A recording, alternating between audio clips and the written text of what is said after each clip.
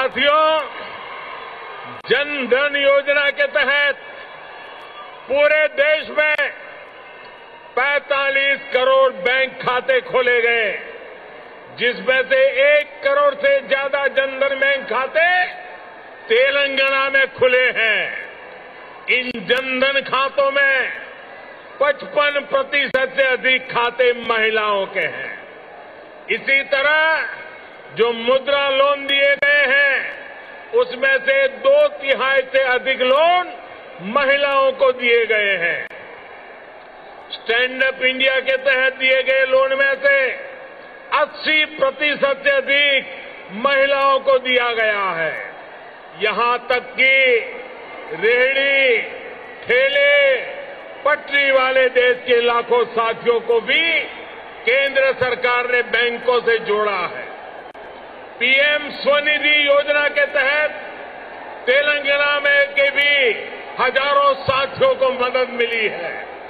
भाइयों और बहनों, तेलंगाना भारत में रिसर्च और इनोवेशन का भी एक बड़ा केंद्र है। कोरोना काल में वैक्सीन को लेकर, दूसरे साजो सामान को लेकर जो काम यहाँ हुआ है उसने पूरी दुनिया में करोड़ों जीवन बचाने में मदद की है। बीते आठ वर्षों से केंद्र सरकार इस इकोसिस्टम को सशक्त करने के लिए बड़े स्तर पर प्रयास कर रही है। हैदराबाद में आधुनिक साइंस सिटी बनाने के लिए भी भाजपा सरकार गंभीर प्रयास कर रही है। कुछ समय पहले national animal resource facility for bio medical research जैसा आधुनिक रिसर्च सेंटर हैदराबाद में तैयार हो चुका है। साथियों, भाजपा सरकार सिर्फ़ टेक्नोलॉजी और इनोवेशन के प्रोजेक्ट ही नहीं बना रही, बल्कि गरीब और ग्रामीण परिवारों के बेटे, बेटियों के प्रतिभा को भी प्रोत्साहन दे रही है। नई राष्ट्रीय शिक्षा नीति में हमने स्थानीय भाषा में पढ़ाई को प्राथमिकता दी है।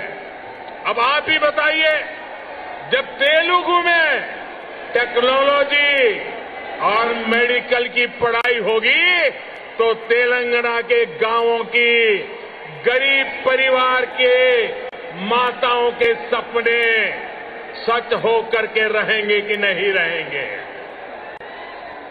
इससे आत्मनिर्भर भारत के निर्माण के लिए टैलेंट का पुल बड़ा होगा या नहीं होगा? भाइयों और बहनों, आत्मनिर्भर भारत अभियान को रामागुंडम खाद कारखाना भी सशक्त कर रहा है। आप सभी ये जानते हैं कि बीते दशकों में देश के जो अनेक खाद कारखाने बंद हुए थे, उनमें से ये भी एक था 2015 में हमने इसको फिर से चालू करने के लिए काम शुरू किया। लगभग साढ़े छह हज़ार करोड़ रुपए का निवेश किया। अब यहाँ फर्टिलाइज़र का उत्पादन शुरू हो चुका है। बहुत जल्द इसको भी राष्ट्र के लिए समर्पित कर दिया जाएगा। ये तेलंगाना के किसानों के लिए, भारत के किसानों के लिए कितनी बड़ी सुविधा है? इसका आप अंदाज लगा सकते हैं। इससे खाद पर हमारी विदेशी निर्भरता कम हो जाएगी। भाइयों और बहनों, हमारा निरंतर प्रयास है कि तेलंगाना के किसानों का जीवन आसान हो। उनको अपनी उपज का अधिक से अधिक लाभ मिले।